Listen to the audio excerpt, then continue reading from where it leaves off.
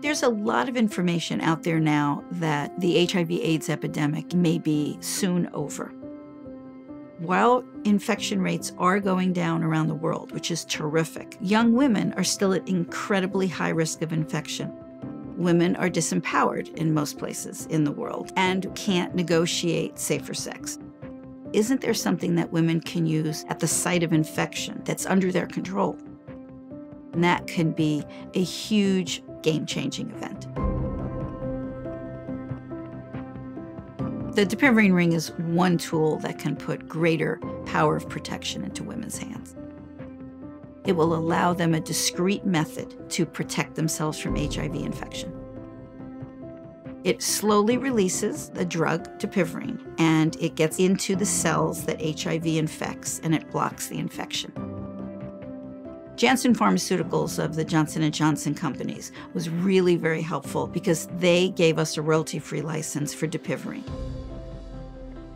We see global strategic partnerships as the driving force to creating innovation. And so by partnering with IPM, we can bring our skill sets together to help reduce the burden of HIV.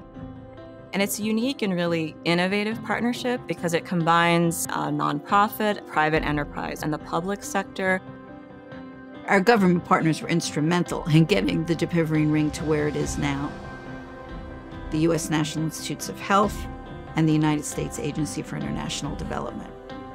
We began the phase three trials and we found that the Dapivirine ring, if used consistently and correctly, could significantly reduce a woman's risk of getting infected. It is going to be an important part of the whole prevention toolkit. It's discreet, it's long acting, and it's going to provide women the opportunity to empower themselves. With each of us coming together, we're able to bring our various expertise and skill sets and resources to help address this critical problem. It really does take a village.